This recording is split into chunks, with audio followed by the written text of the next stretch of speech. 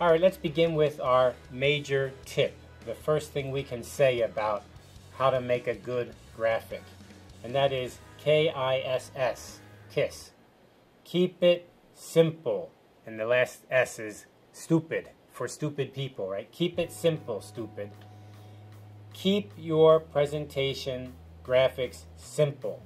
Keep your visual helpers easy to understand. This is the most important thing to emphasize and it's very often overlooked. Again, because it seems so much fun to make little pictures flying around, but that makes things complicated, not simple. Keep it simple and sweet is the nice way to say it. I like to say keep it simple, stupid.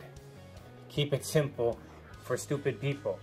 But an easier way or a nicer way is keep it simple and sweet. This means your graphics will be best when you avoid making them complicated or complex. A simple design is often the easiest for your audience to understand. And visual aid should expand what you say not just repeat it, right? They should make things easy to understand. And this is the key point. The graphics kind of add something, but you don't need to explain the graphics, making your presentation even more complicated. So these graphics are something to use very carefully.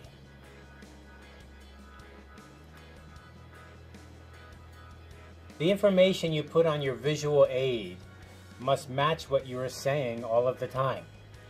You need to make sure that the things that you're talking about are the same as your graphics. That doesn't have to be a repeat, but the graphics are making it easier to understand your main point. I think we get back to this main point over and over again. The meaning of the visual aid must be very clear easy to understand, right? Keep it simple and sweet. Design should be professional quality, and a professional presentation means there's no errors in your slide. Now this is easy to say and hard to do. This is another problem with making your PowerPoint slides so long and complicated. You're just increasing the chances to make a mistake, like a spelling mistake, or some kind of formatting mistake or your numbers in your tables are not quite right. If you have fewer slides, fewer graphics, then you can be more careful to make sure you have no mistakes. But if you have more, you're going to have more mistakes. You just can't help it. So be careful about that. The most common errors are spelling errors, strange capitalization, and spacing errors.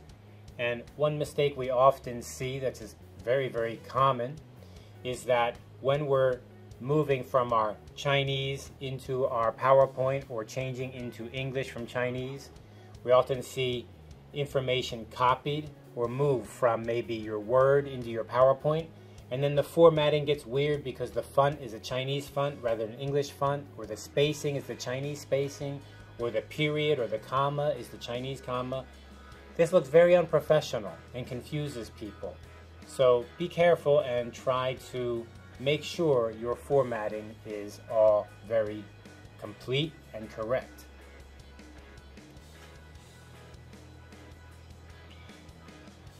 A main point that is easy to overlook is this idea of where do you get your graphics from? Of course, it's easy just to grab a picture from the internet and put it in your slide. No one will notice.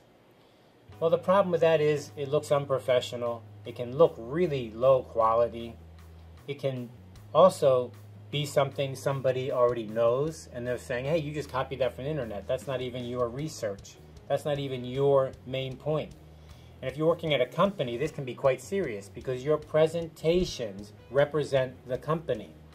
If you actually copy a photo from a site that's licensed or trademarked, and then you use it inside your company presentation, your company could be sued in court because that's copyright theft or trademark violation. So you need to be very careful. Now, of course, often when we're students, we're practicing our presentations, we don't worry that much because we're just inside of a room practicing. But even today, we record our presentations, put them on YouTube, we practice and show them to other people. There's still a danger. So you really should be careful about this. If you're presenting your own research, try to make the graphics yourself or pay for a service. It can cost very little money 10, 20, 50 US dollars for one month to be able to use all different graphics that you then have a license for. So don't copy from the web. Copying graphics from the web is like stealing someone's work, and it's against copyright law. It seems very easy just to click on a picture and copy it, but the pictures are all copyrighted and not free. They're not just free for anyone to use at any time. You wouldn't want someone to take your pictures, would you? If you make your presentation in front of others, someone may notice that you've stolen your pictures, and that would look very uh, negative. There's another way that's safe and looks much more professional, and that is you can buy a CD or a uh, hard disk sometimes, or a uh, memory stick full of graphics at your local, local software store or online. You can buy a service where you can get one month or more than a month, or sometimes you can buy a whole CD and it has thousands, hundreds of graphics inside that you can then use with a license where you're allowed to use them. So look into that. Stock photos and graphics are often very inexpensive, and that's the word we use for these. They're called stock photos. Stock photos. Right, stock photos are photos or graphics that you pay for and you're allowed to use in your presentations.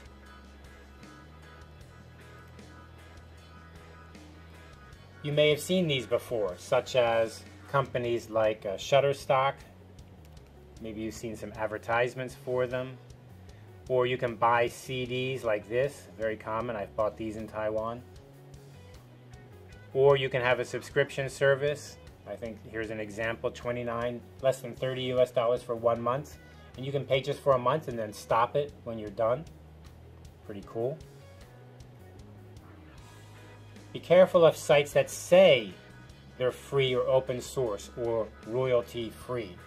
Now this is a very serious problem. I always have a hard time to explain to my friends and students.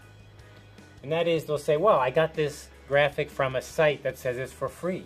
Or this website says you can use these graphics for free. Or there's a website that's royalty free. Or there's a website that's open source. Now, that may be true, and there are some sites like that. The problem is you don't know for sure that the photo or the graphic that's been uploaded is really open license for you to use. There's no way to be sure.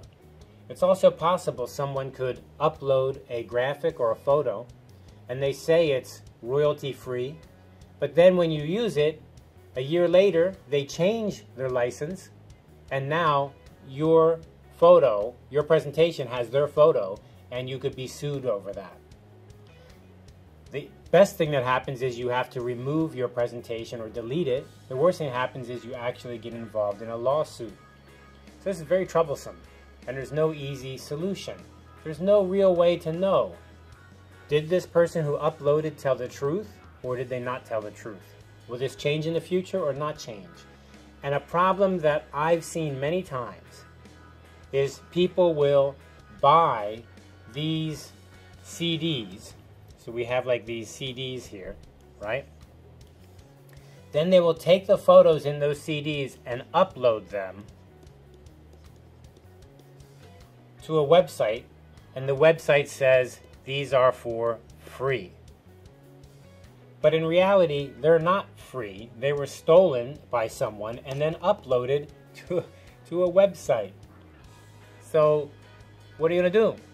Well, you don't know because the website says that it's free or open license or open source. but you have no way to know. And I've seen many of these graphics that I paid for uploaded to those kinds of sites. So that is very dangerous. There's only one way to really be sure, and that is for you to pay a company where you have the license and you can see it and you can read it. And in the future, if there's a problem, you can say, you can prove, I bought this from company ABC. I bought this from Shutterstock. I bought this from this CD company that has CDs in their graphics, in their CD. So, we need to stay very clear on this. There's only one way to be sure. I'm very adamant about this. You know, it's just like using everything you like to use on the internet for free. Think about it for a minute. Is there something free? Can it be free? Can there be something for free? You use Gmail for free. Is it for free? Does it cost nothing? It must cost something, right? This video is going to be on YouTube. Is YouTube free? Well, no. You have to watch advertisements. And then YouTube, the company Google, is using my work to make money for them. And they're using your time to make money for them. So no, it's not for free. If you find photos or graphics on the internet that are free, you should be suspicious that nothing in this world is for free. The rule of thumb is if you didn't pay for it, you don't own it. If you didn't pay, then you don't own it. If you need to upload your graphic, it now belongs to someone else. That's another key point I've seen people forget. Sometimes they upload their pictures or their graphics to like a software like Canva. You upload your graphics and then you use other people's graphics, but now your graphic is open for other people to use. It doesn't belong to you anymore. Anything you put onto these websites like Facebook belongs to them. So you need to think about these ideas. If it belongs to them, someone else could use it, or they could sell it to someone else. Now who owns it? It's very complicated. So see if you can just pay for your graphics or make them yourself.